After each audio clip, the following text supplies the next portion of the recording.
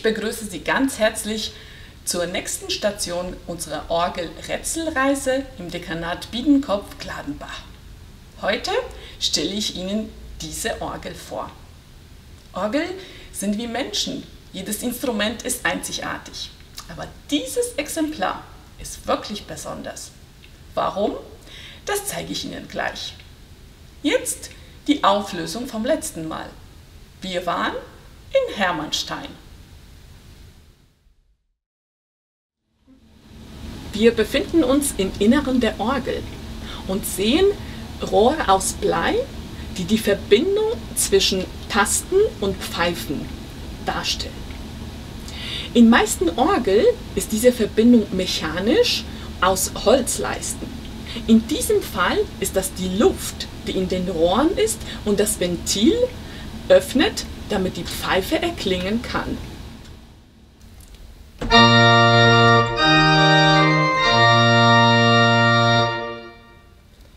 Diese Orgel ist mit zwei Manualen ausgestattet für die Hände und einem Pedal für die Füße. Mit den Registern kann ich unterschiedliche Klänge auswählen. Und auf dem zweiten Manual habe ich gerade zwei Register ausgewählt, die ermöglichen etwas Geheimnisvolles, Schwebendes zu spielen.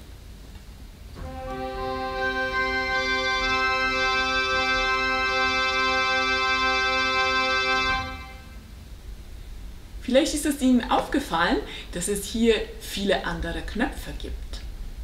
Sie sind sowas wie eine Fertigmischung für die Klänge. Ich muss nicht alles mit den Registern machen, sondern kann schon einen Knopf drücken und eine vorgefertigte Klangmischung haben. Das Besondere hier ist, dass wir Mischungen haben, die heißen nicht laut leise wie bei anderen, sondern hell, halbdunkel und dunkel. Eine weitere Besonderheit dieser Orgel ist die sogenannte Walze. Durch das Drehen kann ich alle Register nacheinander dazuschalten.